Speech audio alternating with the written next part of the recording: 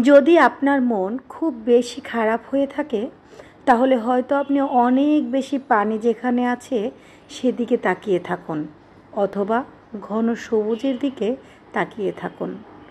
আল্লাহর দেওয়া নিয়ামতগুলো এতটাই সুন্দর যে আপনার যতটাই মন খারাপ থাকুক না কেন, এক নিমিষে আপনার মন ভালো হয়ে যাবে। ঠিক তেমনি এই বদ্ধ ঢাকার শহরে স্বস্তি ফিরে পাওয়ার মতো একটি জায়গা হচ্ছে হাতির ঝিল এখানে প্রতিদিন বিকেলবেলা নানা ধরনের লোক ঘুরতে আসে। আমরাও গিয়েছিলাম। হ্যাঁ আমরা ছুটির দিনে একটু ঘুরতে গিয়েছিলাম হাতির জিলে আর তখনই এই ভিডিওটি আপনাদের সঙ্গে শেয়ার করছি। পরিবেশটা আমার অনেক ভালো লেগেছে। ঢাকা আছি অনেক দিন, তবে হাতির জিলে আমি এইমাত্র প্রথম আসলাম। তবে অনেক ঘুরেছি। আমার হাজব্যান্ডের একটু ঘোরাঘুরি পছন্দের, তাই আমরা প্রায় ছুটির দিনেই এদিক সেদিকে ঘুরতে বের হই। বাচ্চার বয়স যখন এক মাস হয়ে যায়, তখনই আমাদের ঘোরাঘুরি শুরু হয়ে যায়। আর সিজারের আগের দিন পর্যন্ত আমরা কিন্তু ঘুরেই থাকি। যাই হোক, পরিবেশটা অনেক ভালো লাগছে। আর সামনেই অনেক অনেক পানি। মাঝে মাঝে ট্রলার যাচ্ছে। এখানে অনেক মানুষ এসেছে। তবে এটা কোনো শুক্রবার বা শনিবারে ছুটির দিন নয়। এটা হলো বৃহস্পতিবার, কারণ এখন আমার হাজব্যান্ডের ছুটি বৃহস্পতিবারে। এই যে ট্রলারের কারণে ছোট ছোট ঢেউগুলোকেও যে কতটা মুগ্ধ করছে আমাকে, সেটা আমি আর কি বলব। এই জলাশয়ের ওপার দিয়ে আবারও রাস্তা, গাড়ি চলে যাচ্ছে। রাব্বানি, রাব্বানির বাবা, আমি, রায়ান, চারজন মিলেই আমরা মোটর সাইকেল নিয়ে একটু ঘুরতে বের হয়েছি। তবে রায়ান কিন্তু নিজের মতো থাকতেই অনেক বেশি পছন্দ করে। রাব্বানিও রাব্বানির মতো টুকিটাকি খেলে যাচ্ছে। আমরা সবাই অনেক হ্যাপি ছোট্ট ফ্যামিলি চাহিদাগুলো খুবই অল্প।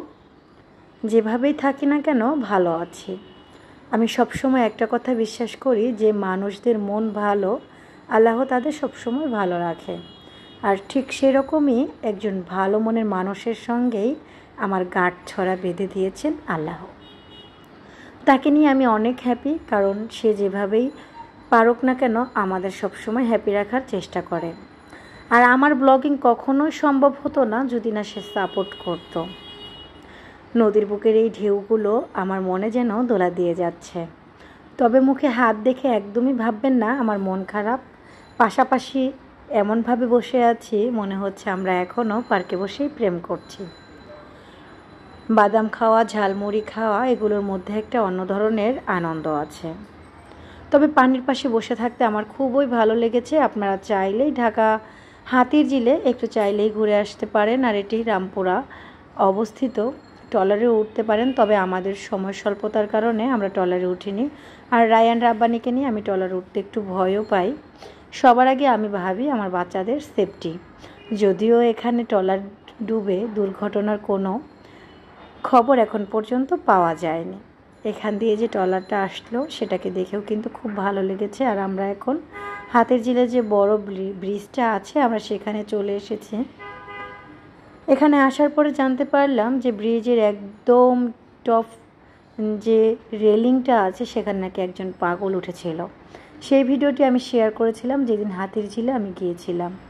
অনেক দিন পর পর ব্লগ ভিডিও দেই, তার কারণ বাচ্চাদের নিয়ে অনেক বেশি ব্যস্ত থাকতে হয়। যাই হোক, পাগলটাকে কিন্তু পুলিশরা এসে যেভাবেই হোক নামিয়ে দিয়েছে। আর হাতের জিলের ব্লগটা আমি সেভাবে যদিও সাজিয়ে গুজিয়ে আপনাদের সামনে না শেয়ার করতে পারি, তবে পরিবেশটা দেখতে কেমন লাগল সেটা জানার আশা রাখতেই পারি।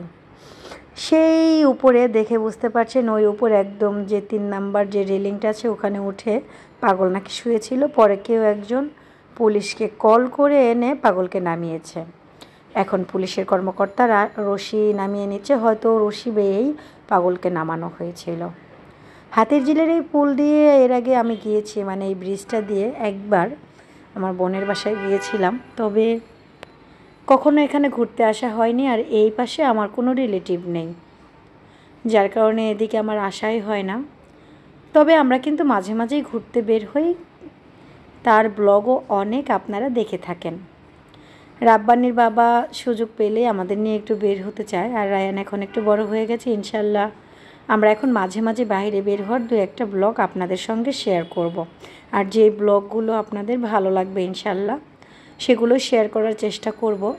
আমার ব্লগগুলো যদি সত্যিই ভালো লাগে, তাহলে অবশ্যই লাইক কমেন্ট শেয়ার করতে হবে।